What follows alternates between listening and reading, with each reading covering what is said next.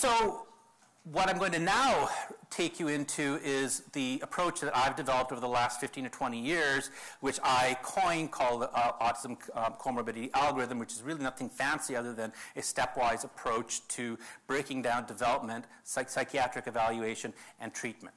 And I'm going to go through this in a number of ways, but I'm going to use some cases actually to help us illustrate the, the, um, um, uh, the approach. So we end at 10:15. Right? So step one. Step one is a developmental review, which is that if you're seeing individuals for autism spectrum disorder in clinic for behaviors or whatever issues that are going on with them, you have to start by really uh, looking at their development. And that involves one thing, looking at trajectory. We know that kids with autism have higher instances, uh, uh, prevalence of a variety of developmental problems, ID, intellectual disability, language disorders, and so forth. They often get identified or they get described at a certain point in life, but we know they all have different trajectories. So what was a, lang- what was a mild language delay when the kid was four can turn into a major language disorder when they're 14. The trajectory is variable, and you need to be paying attention to that. The other is to be paying attention to evolution and growth and maturation of interventions, and we'll come back to this as well. So let's look at it, and as I say, we're talking now a little bit about cases of kids um, that illustrate the developmental profile and why these kids might not have autism. And we're going to start with this kid, 10-year-old BJ, who's previously been diagnosed with a developmental disability, and this is his history. So BJ has a history of some early language and developmental problems. He was supported by a community child developmental center and a speech and language pathologist until entering kindergarten. In kindergarten, his challenges uh, acquiring basic academic skills were, were, were, noticed. He was not where he was supposed to be and ultimately led to referral to CDBC, which is one of the Sunny Hill provincial programs, uh, before grade one because it was so efficient. Um, and, and, we, and, and they concluded a diagnosis of language delay, borderline intelligence, possibly ADHD, and being at risk for a learning disorder. So BJ goes back to school with this information. He gets put on an IEP, He gets a learning disability designation, which uh, people probably know as what's called a high incidence code uh, designation, which actually doesn't provide any additional funding or very much additional funding to the school. Nevertheless, in the primary grades, BJ is actually not hard to manage in the classroom. Um, he can be included. He has some interests that he shares with the other boys. He's, he gets into the whole Pokemon thing, and they can kind of go around it. Academically, he's struggling, but the school and the parents kind of do a little bit of additional kind of scaffolding and a little bit of additional tutoring, and they kind of go along for a couple of years without having to make any major changes. Around grade four, when BJ turns nine, things start to get more problematic. So as he enters the new school year um, the, in September, the teacher uh, does some initial screening and says, you know what, BJ's at least two grade levels below where he's supposed to be at. I don't know what to do with him in this class because I can't adapt this any further. He needs what's called a modified curriculum. He needs to be doing a different curriculum than the rest of his peers. But that's not possible because of two things. One is his established diagnosis of a learning disability and borderline intelligence and language delay would not support that, even at a theoretical framework, and because that takes a lot of money. And there's no money in the system to help this kid be able to do something that, that, that, that, that extensive.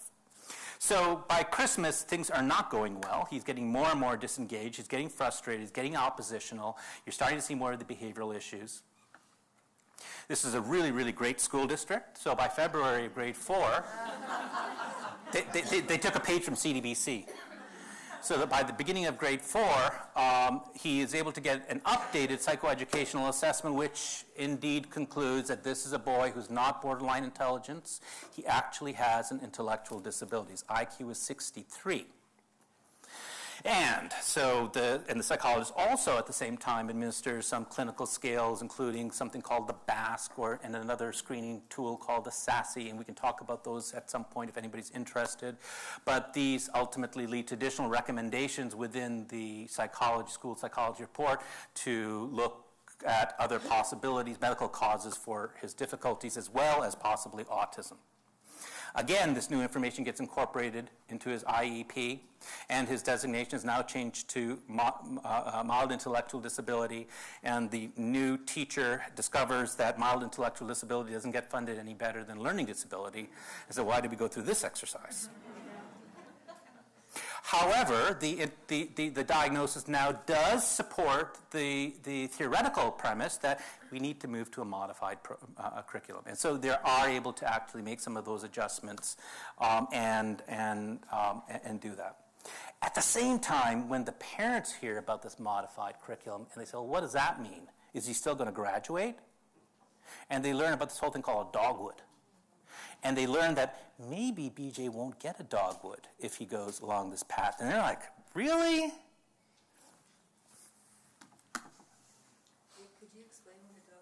A dogwood is your high school diploma in British Columbia, so that he wouldn't get a regular high school diploma. So by the spring of grade, of grade four, BJ's now he's really having more troubles. He's pretty isolated from his peers. He's still kind of into Pokemon, um, but the other kids have kind of moved on. They're into Minecraft and um, Grand Theft, some of them are into Grand Theft Auto 94.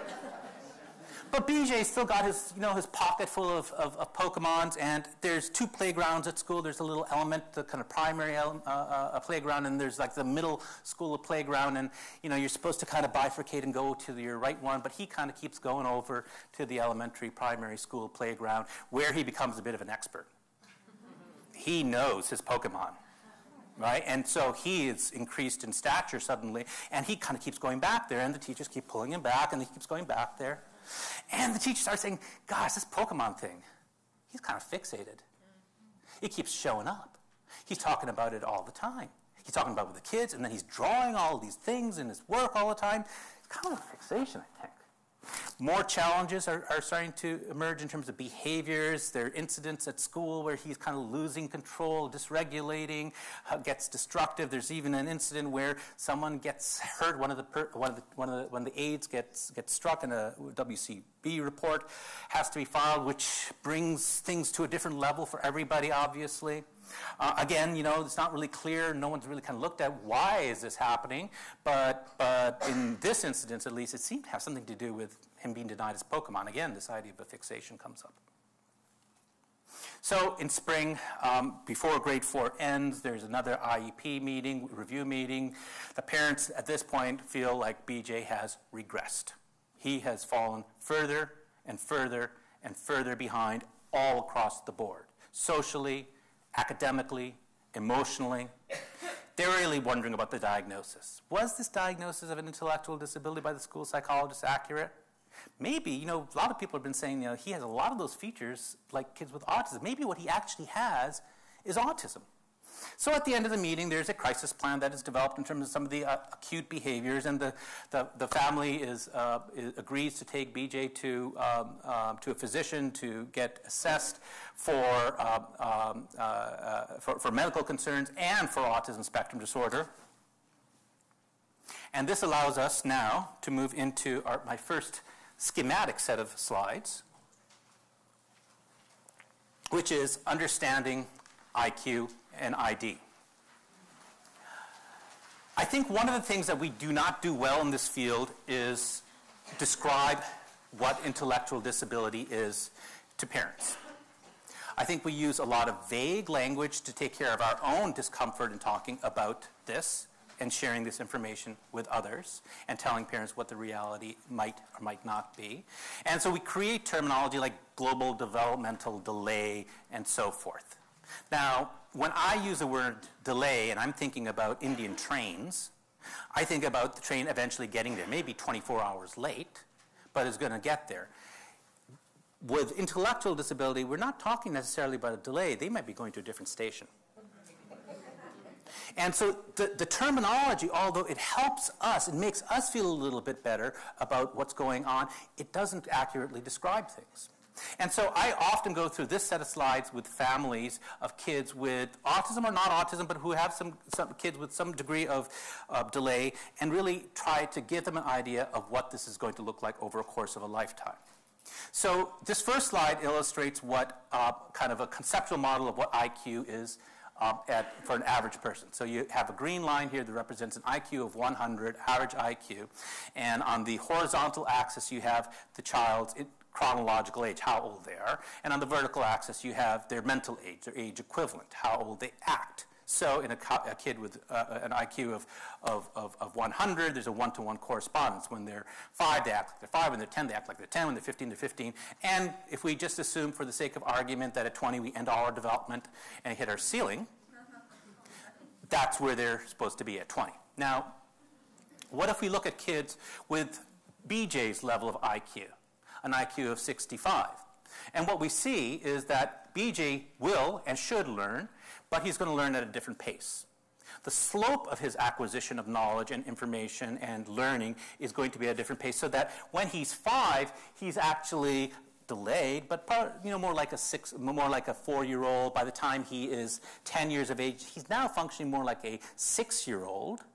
And by the time he hits 20 and theoretically finishes his development, he's ceiling effect. He hits the, the, the ceiling at about age 13 age equivalent. That would be a good outcome for an individual with a mild intellectual disability. Now, 13 doesn't seem, might seem very low, and it is in some regards, but I think I always uh, uh, uh, keep in mind that lots of places in the world that I've traveled, 12 and 13 year olds manage themselves.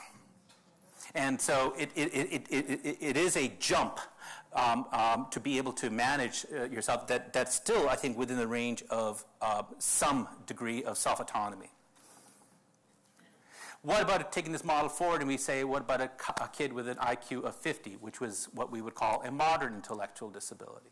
Well, this kid as well is going to have his own slope and his own uh, uh, degree of improvement, but it's going to be on a different rate. So at age five, he's more like a two and a half year old. At age 10, he's more like a, a five year old. And when he hits his ceiling at the age of 20, if things go well, we will get this kid to a 10 year old age equivalent.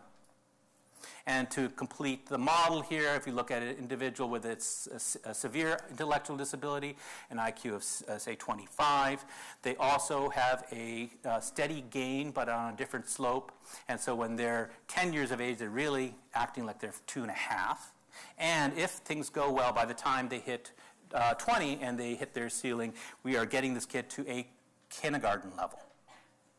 Now, this is really helpful in a number of respects, not only just thinking about it. I show these slides and I have this very common experience where you see these parents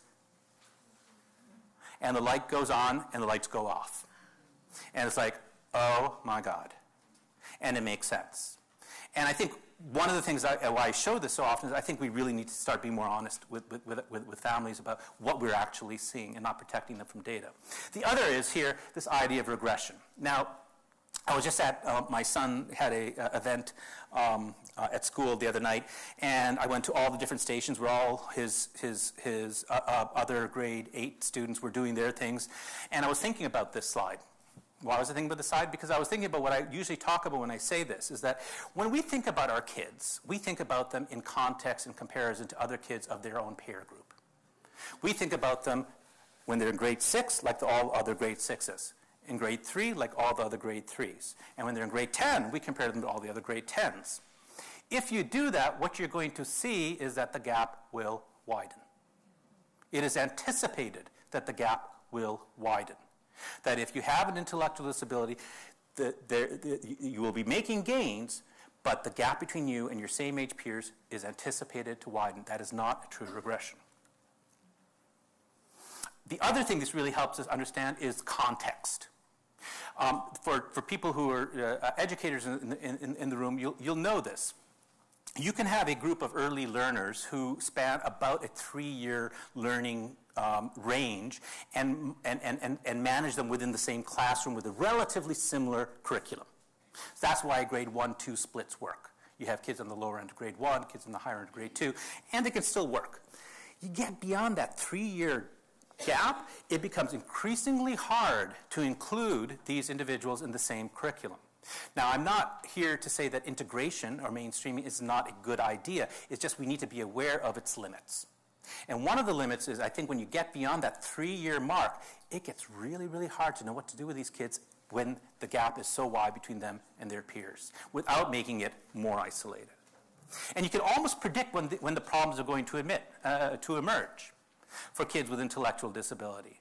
And for BJ, with an IQ of 65, it almost always emerges somewhere around grade three or four or five. Right? You hear the story, the kid has, has, has an intellectual disability, the wheels fall off the wagon in grade four or five. Why? Because they, they, one of the reasons, at least, is because this gap has widened. They've exceeded that gap, the three-year gap.